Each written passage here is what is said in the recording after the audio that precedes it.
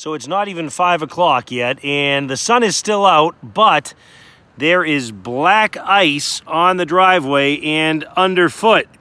Yeah, those are Darth Vader slippers.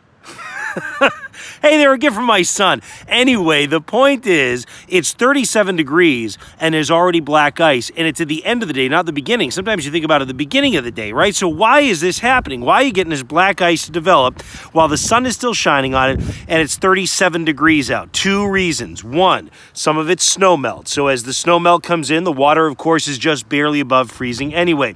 The second one, what we call the laminar layer. The laminar layer is this little layer of air that's only millimeters thick and it's above everything. It's above everything on the ground. It's above all the, the branches and the trees. It's above everything that's, uh, that's off the ground. Anything has a laminar layer. Your skin has a laminar layer that's over it. Again, millimeters thick, but that laminar layer cools down quicker than all of the rest of the air.